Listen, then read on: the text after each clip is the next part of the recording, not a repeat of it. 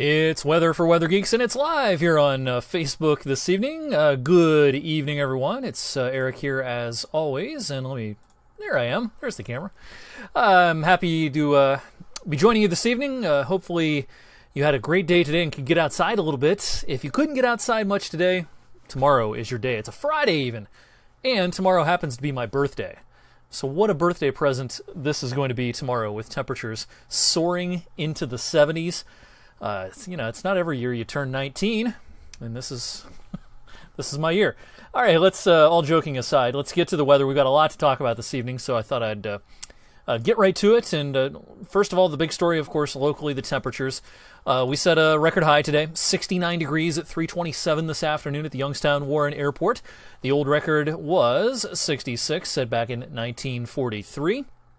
So uh, we cleared it with room to spare, and I think we're going to clear it with room to spare again tomorrow as well. Tomorrow's daily record doesn't stand a chance. It's 67. We're going to blow that out of the water.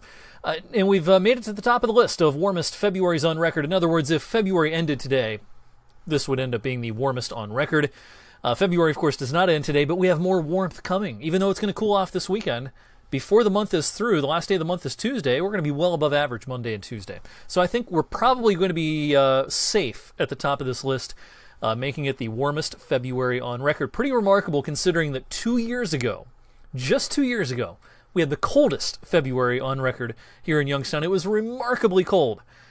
This year, though, the exact opposite, the warmest on record. And speaking of two years ago, uh, today's record high set today, the record low for today's date was set two years ago, back in 2015. So, what a difference two years makes 80 degrees the difference between the low temperature two years ago and the high temperature for today. So uh, just amazing how things have changed in two years. All right, this evening at 746.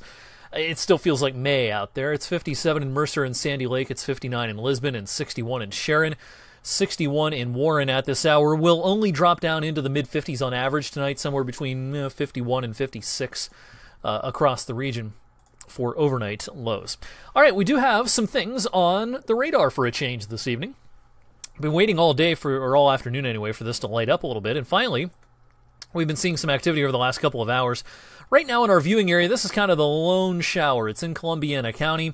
Uh, this is northeast of the Lisbon area and kind of between Lisbon and Columbiana.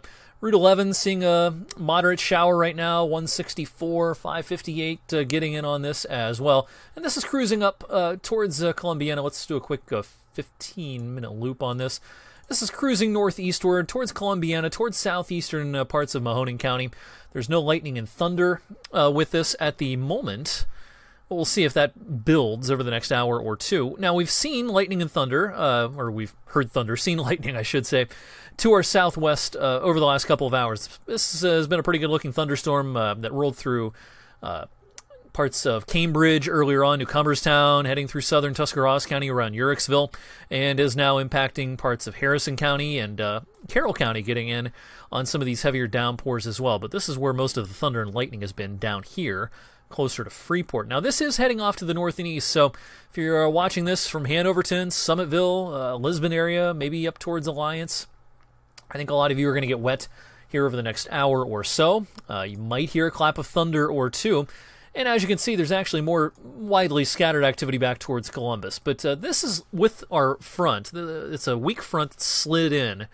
And that front is actually going to start retreating back north as a warm front tonight in response to our deepening Midwestern storm system starting to push east. It's going to drag the warm front uh, north and eastward.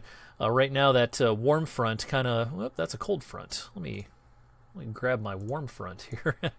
Try that again.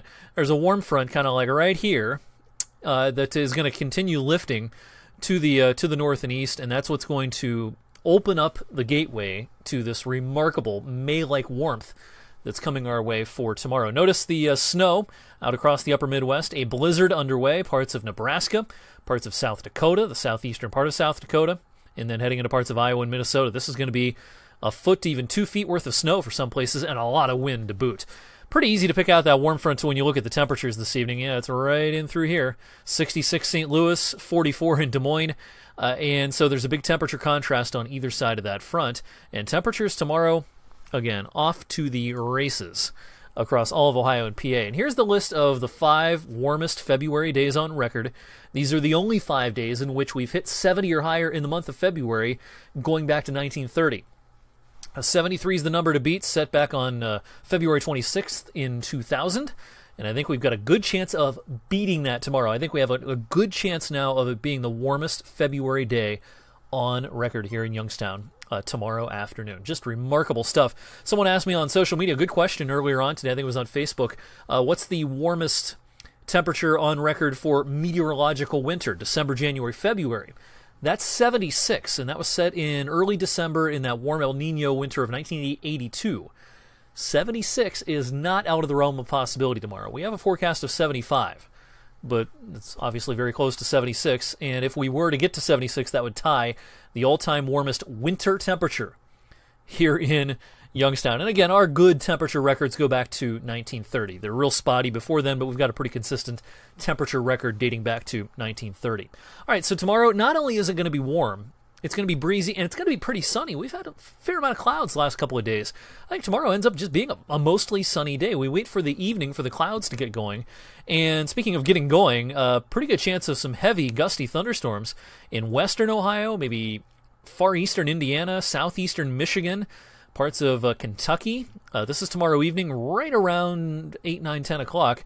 Uh, again, this is a very May like situation, so going along with that idea, some May like thunderstorms in the Storm Prediction Center has an enhanced risk of severe weather out for Toledo, for Lima, Cincinnati, Dayton, Indianapolis, Louisville, up to Detroit as well. And, and when we talk about an enhanced risk, that means that numerous severe storms are a possibility, and several reports of wind damage seem likely with this. And I wouldn't be surprised if we had a handful of tornadoes in western Ohio, eastern Indiana, maybe southeastern Michigan tomorrow evening. Not so much in the afternoon, but into tomorrow evening.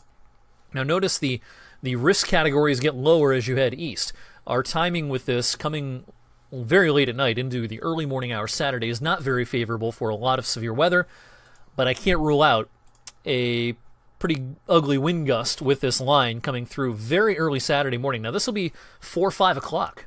Uh, according to the latest run of this particular model, I think our window is generally between 1:30 a.m. to 5:30 a.m., kind of a four-hour window where you know, don't take this model uh, verbatim right now. It's probably not going to be rolling through at exactly the time shown here, but it'll be in that ballpark, somewhere between 1:30 and 5:30. Some gusty, loud thunderstorms, a possibility, and then the cold front swings through, and I think the sun actually comes out for a little while. Uh, Saturday morning actually won't be half bad outside for a couple of hours. Late morning on Saturday, temperatures will be falling, but it won't be super cold yet, and the sun will be trying to break out, so that's a good thing. But take advantage of that because it's going to feel a lot different by dinner time on Saturday. The temperature will continue to fall, the clouds will roll back in, the wind will blow, and yes, I think there's going to be some snow flurries around at the end of the day Saturday. 75 degrees tomorrow, snowflakes by Saturday evening. So a obviously a pretty big time change. Flurries lingering to Saturday night, not expecting any accumulation with that. And I actually think Sunday will be a pretty nice day as high pressure builds in from the south and east. Uh, may start with some clouds, but we should turn out fairly sunny. And it's not going to be 75, but 40 degrees in the latter third of February is still a bargain. That's still a couple of degrees above the average. All right, quick word here on the severe weather threat. I mentioned it's quite a bit lower here than for western Ohio, eastern Indiana. Our number one concern by far and away is a damaging wind gust. Even though the tornado risk is fairly high, especially for February, in Dayton, Cincinnati, Indianapolis, Fort Wayne, I, am not real concerned about tornadic activity here. I can't 100% rule out some stray spin up tornado, but it's a it's a real real low chance. Uh, a pretty decent chance though of a couple of these feistier storms producing enough wind that there could be a few isolated uh, wind damage reports with uh, with those storms. Again, this is coming in the wee hours of Saturday morning. We're talking, uh, you know, three, four o'clock on average. So, kind of reviewing all our weather hazards here over the next couple of days. Again, best chance for storms early Saturday morning, along with that chance of briefly heavy rain. Your chance of severe weather and heavy rain in any one location only lasts about a half an hour. That's a pretty skinny band of, of storms that'll roll through. Uh, again, some inconsequential flurries, but notable considering the uh, the temperature was 75 the day before. But anyway, some inconsequential uh, flurries starting mid to late afternoon Saturday, continuing into Saturday night. They should be gone by about daybreak on Sunday. Uh, the wind, even outside of thunderstorms, uh, Saturday night, uh, even Saturday afternoon, uh, will be notable. Some gusts to 35 or 40. Nothing too crazy, but uh, the wind will be a noticeable thing. Saturday and into Saturday night. All right, before we wrap this up, let's take one more quick look at the radar. Thanks to everyone for uh, viewing this evening and chiming in on Facebook with the uh, comments and the birthday wishes. I appreciate that. I'm not actually turning 19 tomorrow, sadly enough. It's the anniversary of my 19th birthday. I can tell you that much. Uh, here's a look at the uh, the one renegade shower we have in Columbiana County uh, between Lisbon and Columbiana. Pretty good looking downpour here. Uh, rainfall rates uh, with this in kind of this red orange color, up to an inch or two an hour uh, in any one spot. So you know it's a pretty good downpour have to watch out to see if we get some thunder and lightning out of this. And then off to the south and west, uh, a weakening area of showers. We had some thunder earlier with this, but not picking up on any right now in Carroll County, Tuscarawas County, heading down towards Cadiz and Freeport. So uh, this is all moving north and east. Some of us are going to get a little wet here over the next couple of hours. Some of us will not.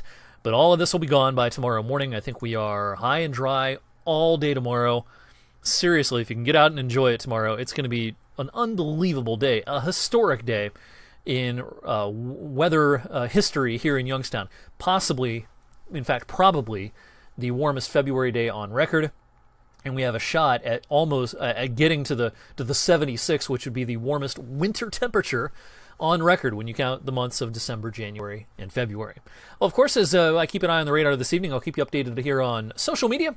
Tune in tonight, 21 News at 11. I will see you then and have a great uh, rest of your Thursday night. Thanks.